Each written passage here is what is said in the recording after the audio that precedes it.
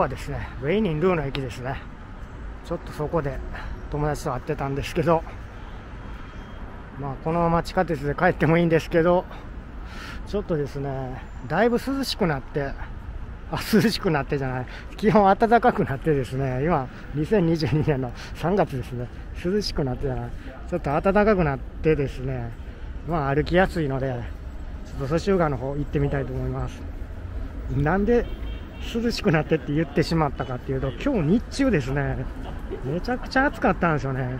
で私ちょっと PCR 検査を受けに行く行かないといけなくて、まあ、行ったんですけど3時間ぐらいこの炎天下の中並んでもあったんですよ。で1キロぐらい列あったんですよね。まあ検査自体はめちゃくちゃ早いんですけどもうあのアリババの G フーバーで予約してですね上海市のあのなんか健康アプリみたいなのがあってでお金も事前に40元払ってでアプあのアプリにある QR コード読んで試験管みたいなのもらって口に綿棒みたいなの突っ込んで一瞬で終わるんですけど並んでんのが本当1キロ以上の列で3時間並びましたね炎天下の中。めちゃくちゃ暑かったんですよね。で今友達と会ってご飯食べて出てきたら涼しくなってたんで最近涼しくなってと間違えて言ってしまったっていう状況です。あとなんか最近花粉がすごくて鼻がちょっとあれですね。目と。でまあ結果もアプリの中で明日になったら出てくるみたいで。うんちょっといろんなとこ行く場所によってショッピングモールとかあの PCR の検査要求されるんですよね。病院とか。なのでちょっと取っとかないとじいけない事情があって検査受けに行けました。めっちゃ並んでますね。まああれ多分なんか飛行機乗る人とか上海外に出る人上海から出ていくときにそういう検査証明書必要なんでしょうね。めちゃくちゃみんな受けに来てました。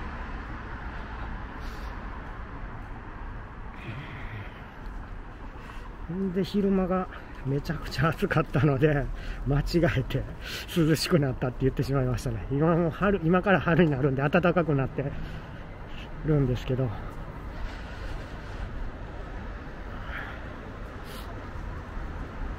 れなんか花粉にさらにマスクしてるからこう顔が蒸れて気持ち悪いですね。まあこういう道歩いてるときはまあマスク取ってても大丈夫でしょう。ここはウェイニンルーですね。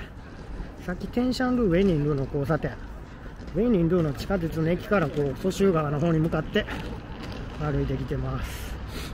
でまあ待ってる間良かったと思ったのが今日なんかそんな並ぶと思ってなかったんですぐ受けれるのかなと思ったんですよね。去年受けた時なんて誰も並んでなかったんで12月ぐらいですね。だけどまあ一応日焼け止め塗ろうと思って顔に日焼け止め塗ってで日傘持ってたんでよかったです。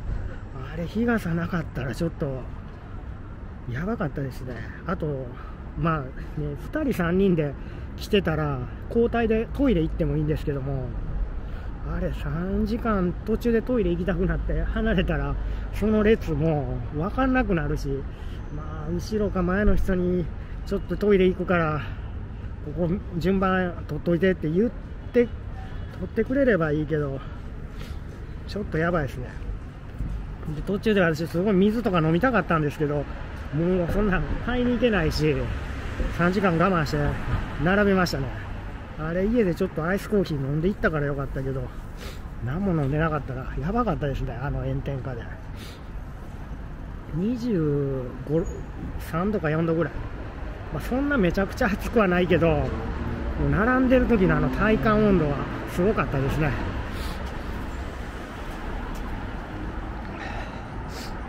えっ、ー、とここは、えー、チャンニンルーですね。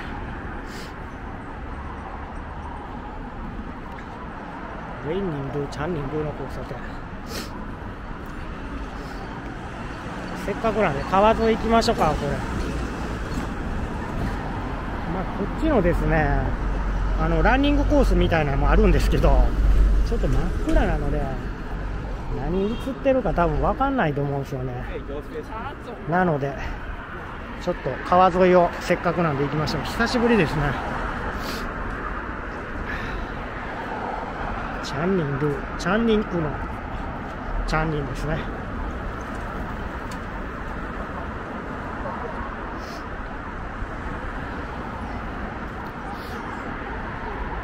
あれ向こうなんか高架道路が向こうからこう出てくるようになったんですよね。でさらに川の向こう側も高架道路がこう行ってずっとめちゃくちゃ長いトンネルがあるんですよね。あのトンネルの撮影もちょっと一回したいんですけど車がないとできないのでたまたまタクシーとか乗ってる時あれ走る時あってあーって録画しようと思ってるんですけど忘れてしまうんですよね。車持ってたらいろいろ行くんですけどまあ、私、基本お金ないんであの自分の足で無料で歩くっていう。撮影やってるんで あのちょっとできないんですけど、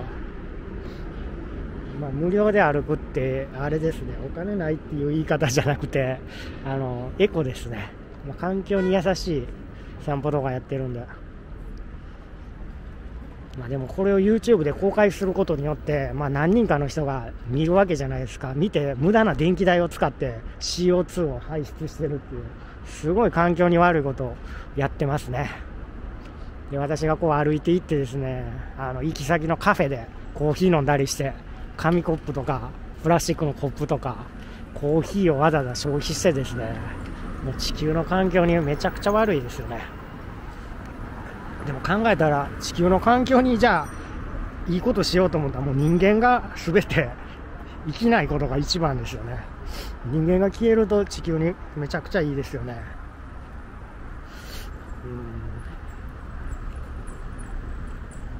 でも例えばなんか隕石が落ちてきて地球がダメージ食らうということがあった場合ですねその隕石を人間によってこうミサイルとかで撃ってですね地球に落ちないように破壊した場合ってそれって地球の環境にいいのか悪いのかどっちなんですかね。自然の場合を自然を守るっていう意味はそういう隕石落ちてきてもほっとくのが自然じゃないですか。まあでも人間が生きてると隕石を壊さないと人間がやられるからそれ壊しますよ。そうなるから、どうなんかなと思うんですけど、まあ、とにかくちょっとこの環境破壊の YouTube チャンネル でも、そう言うと、他のチャンネルも全部そうですよね。なんかやるごとに電気使って CO2 排出して、まあ、何もできないですよね。それ言ってると。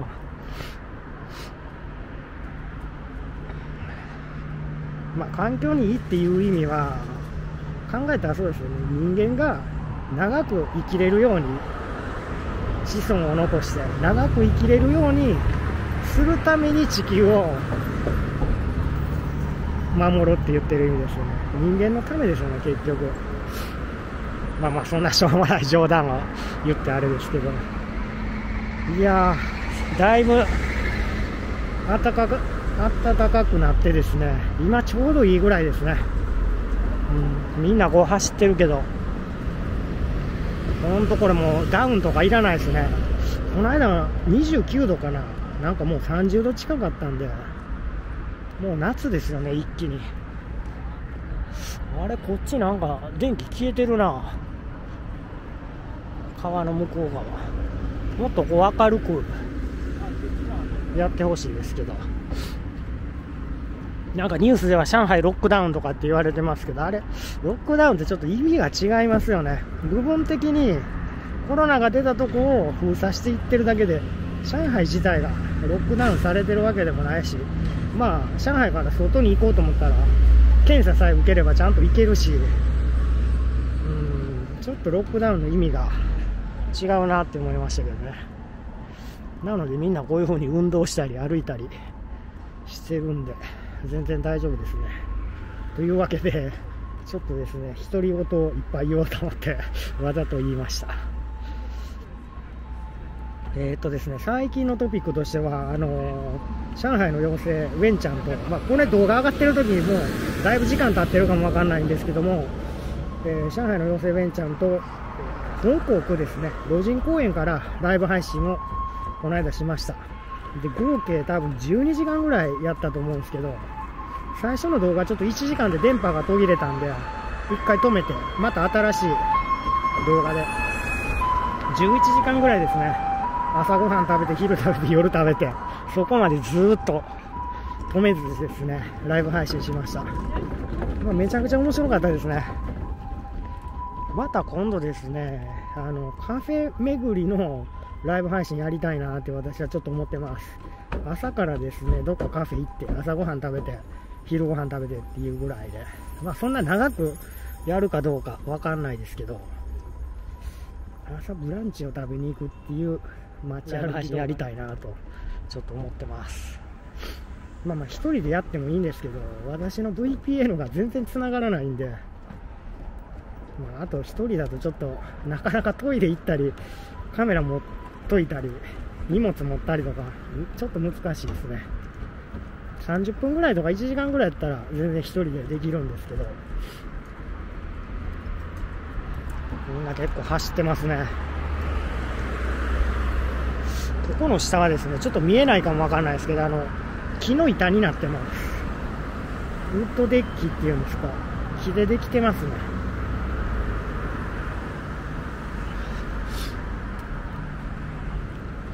ちょっと暗いですねここ。向こう行くとちょっと明るいからい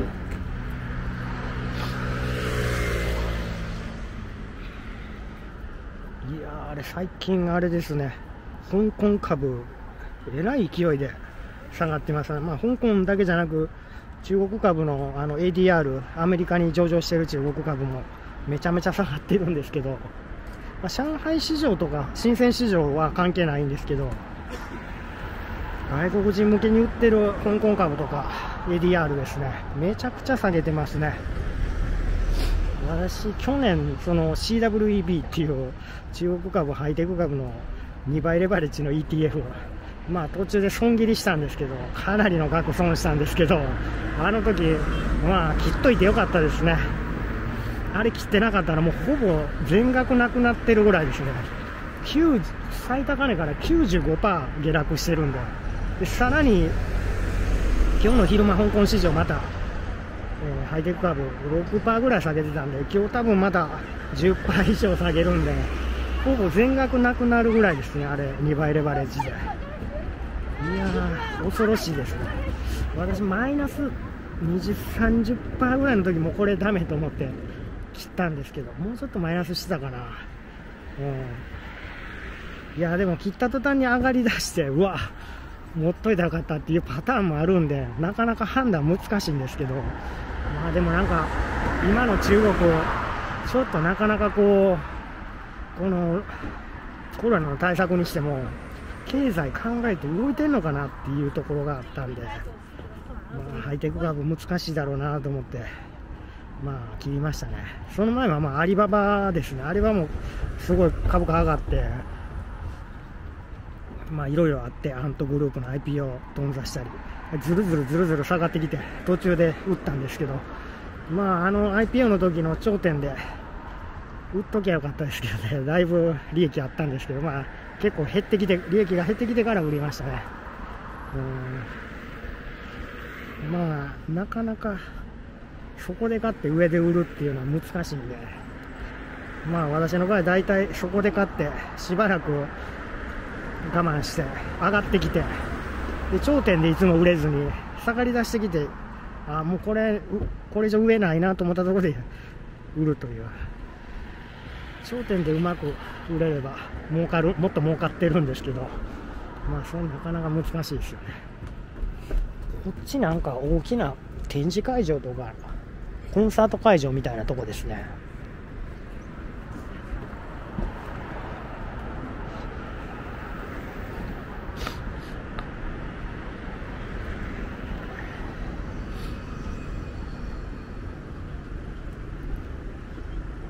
これぐらいの温度だったら一番いいですね。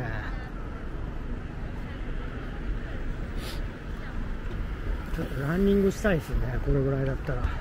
夜に。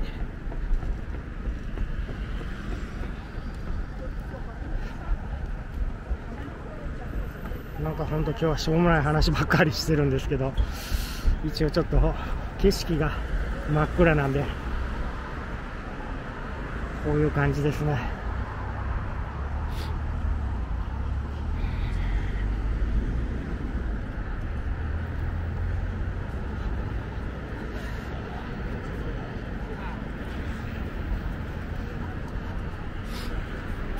でも人いっぱい歩いてきますねこれ。こ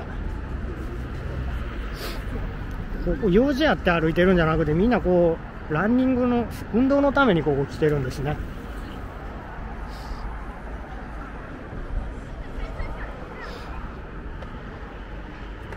あ向こうこっちから向こうはこう電気ついて明るいですね。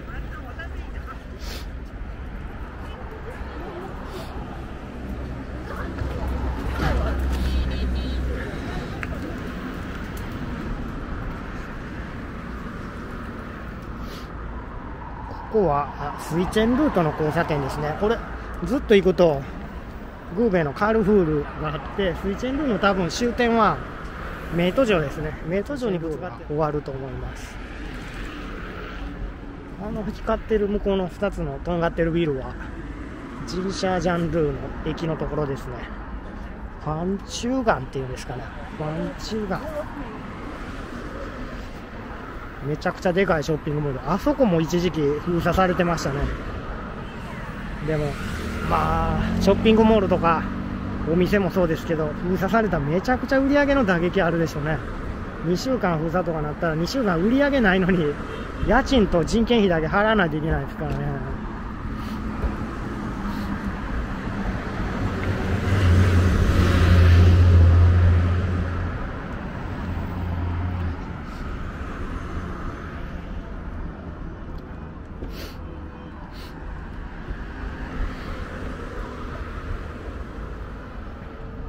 なんか誰か楽器を弾いてる？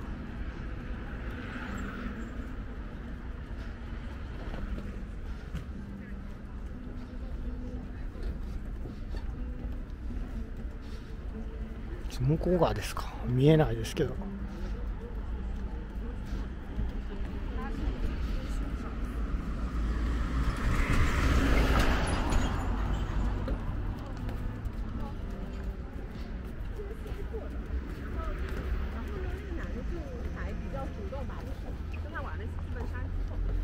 あそこなんか店できたんかな。あの辺にカフェとかいっぱい作ったら結構良さそうなんですけどね川沿いで。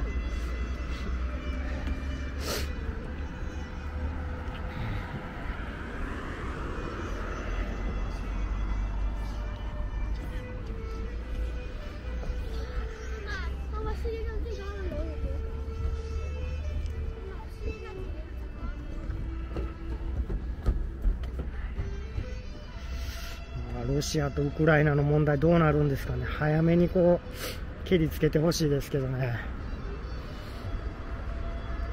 蹴りつけてほしいっていうのはまあまあなんとかウクライナがうまく助かってくれたらいいですけど。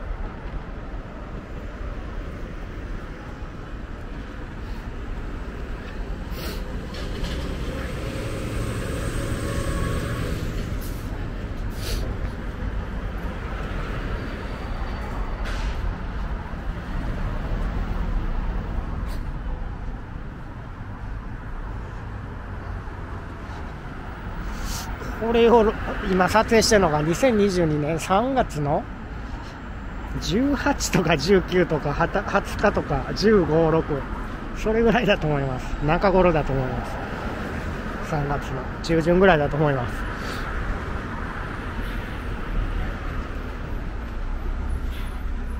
これ YouTube のプラットフォームって何年ぐらいこれ続くかわかんないですけど私これ録画してるやつって全部自分のハードディスクに取ってないんですよね。アップしたら全部消していってるんで。っていうのはこれ 4K で置いてたものすごいギガ数になるんで。置いとけないんですよね。なのでまあ YouTube に残る限りはこれずっと残ってると思うんですけど。まあ将来10年後とか見てみたいですね自分で振り返って。まあただ景色だけだったらいいんですけど。ちょっと失敗したことに私のこのしょうもない話が入ってるんで10年後見た時ちょっとショック受けるかもわかんないですね自分で。何言ってんだっていう。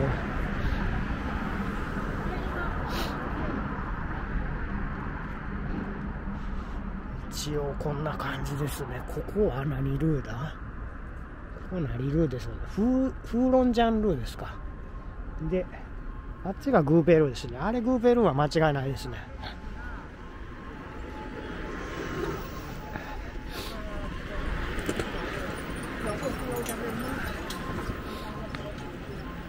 YouTube10 年は持つでしょうね。本当 YouTube のありがたいのは、このものすごい大容量の動画をですね、全部無料で預かってくれるんですよね。すごいなって思いますね。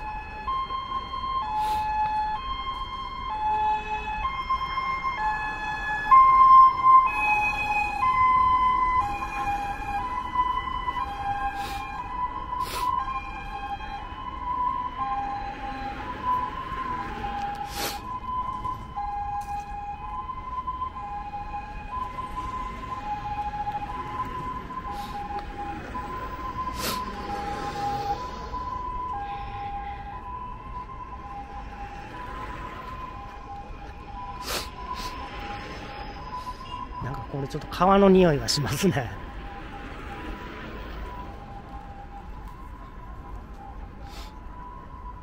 まあこれずっと行くとベイワイタンのところに行きますね。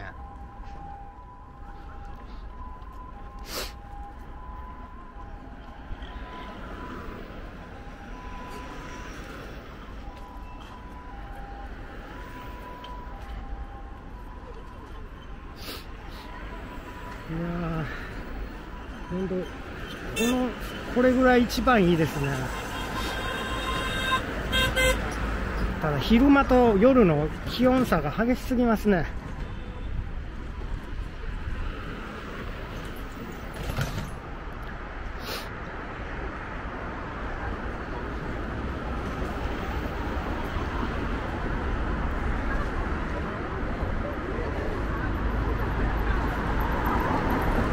えー確かここですね、えー向こうに行くとローシャンガンルーの駅ですね。横断歩道向こうにもあんのかあ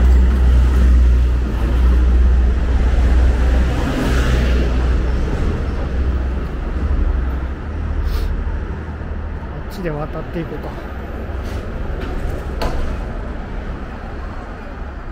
一駅分歩いたって感じですねこれは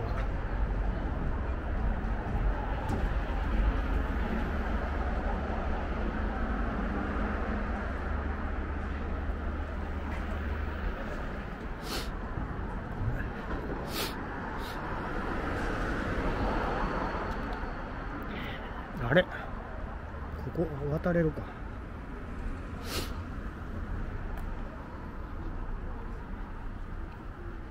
あれ？渡れないですねこれ。横断歩道これないやん。向こう行かないといけない。戻ります。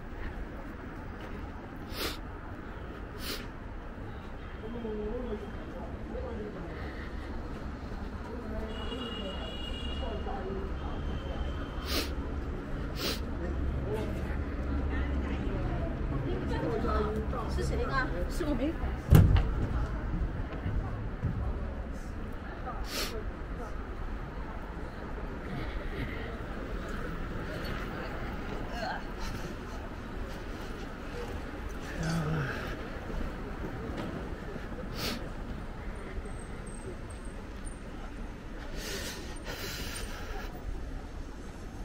ちょっとバッテリーがこれないっすねじゃあこの辺で今日はここで終わりたいと思いますここはですねグーベルーとチャンニンルーの交差点ですね。はい。ではありがとうございます。谢谢大家再见